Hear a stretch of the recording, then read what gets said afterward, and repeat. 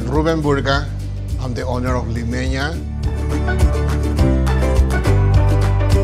I'm Chef Joshua Burga. I'm the chef here at Limeña. You know, it's always been a, a, dream of ours to open up a restaurant. We were working on this project for years before we opened. We wanted to bring the best of the Peruvian food here to Thousand Oak. So in Peru, the marinade recipe is always kind of like a secret. I've kind of kept that tradition. I'm the only one that does the marinade. I went to Le Cordon Bleu in Pasadena. Then I went to Lima and I studied at Le Cordon Bleu in Lima as well. Worked at some of the establishments there. I definitely gravitated towards uh, Peruvian food, which is what I grew up on. We used to get together over the weekends with, you know, and prepare different type of Peruvian food. So it definitely stood out to me growing up.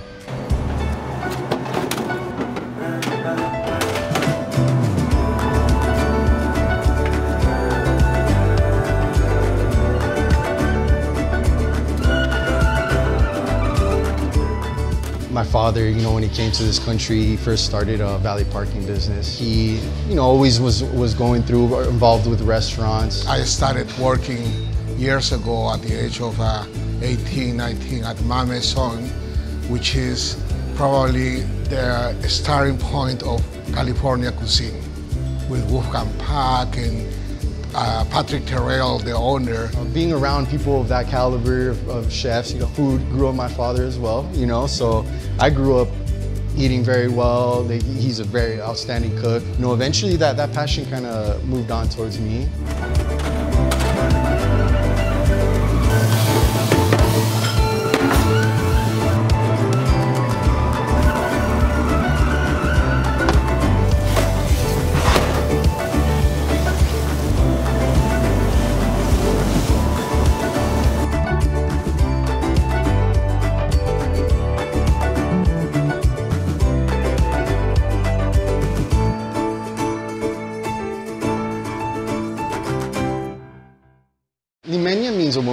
Lima, and I wanted to represent the, the restaurant almost being from Lima.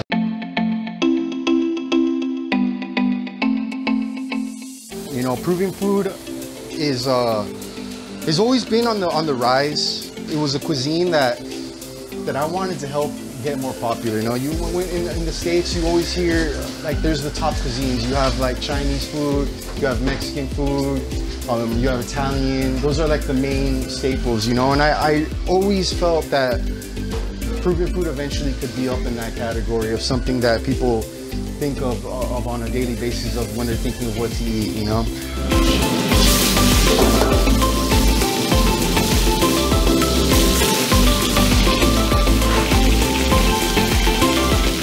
Seller, which is Lomo Saltado, is a fusion of like Chinese food and, and Peruvian food. They call it chifa there. It's a chifa is a Peruvian Chinese food. It, it's a wok stir fry.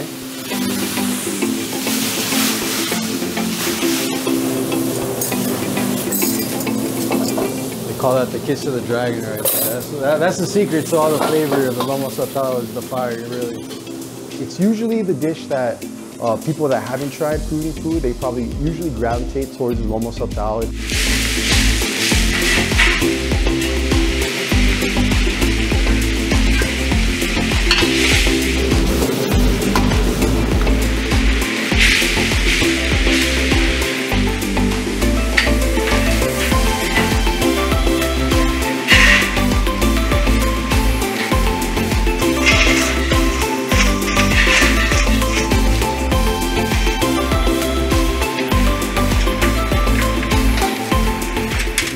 Fries in there, which is always like that comfort food. So when you see french fries mixed in with juice and everything, uh, and the meats and everything, it's definitely an eye catcher. So people gravitate towards that. It feels a little safer than if you're not too adventurous, it's a good plate to start with. That is a, a big example of a fusion in, uh, in Peru.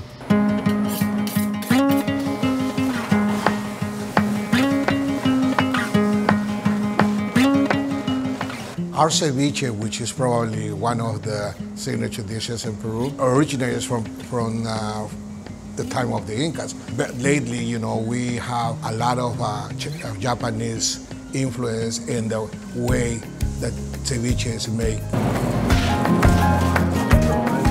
Originally, the pre-Inca, in pre-Inca times, they used to eat the fish on acidic fruit that they call tumbo, which is like in the same family as like passion fruit. They originally made it with that, and not until like the Spaniards came and brought limes and everything was when it kind of morphed into more similar to what we see today.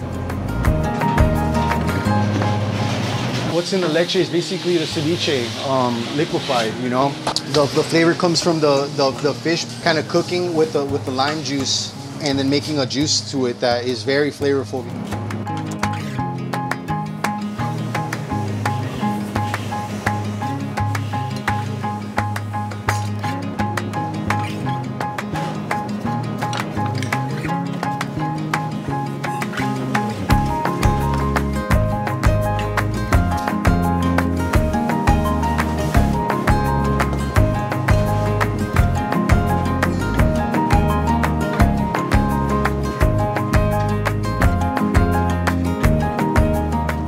It's definitely a, a, big staple in Peru. It's probably the most iconic dish, I would say, from Peru.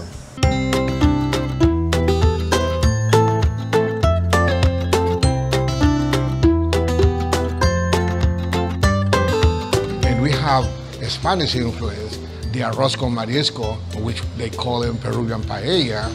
It is almost exactly like the paella, except that we use Peruvian ingredients instead of the saffron.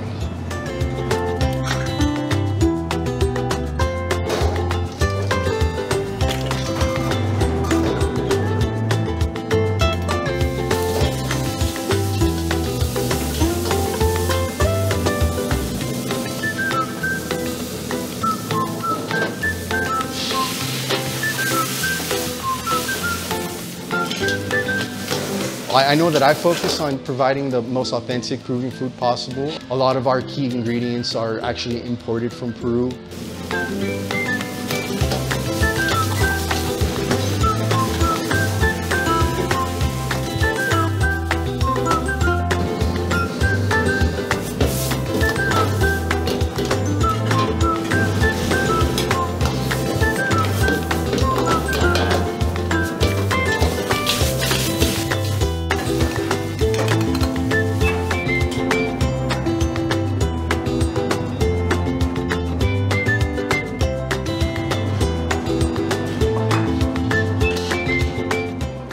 Best part of opening up the restaurant would probably be talking to new people. Definitely, that's the best part. I mean, seeing people so happy with their meal and telling us, oh, I'm gonna recommend it to my friends and my neighbors.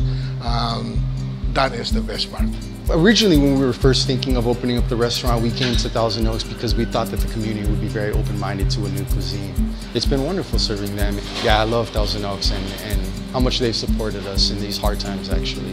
There's nothing more uh, rewarding than seeing the empty plates at the end of their meals.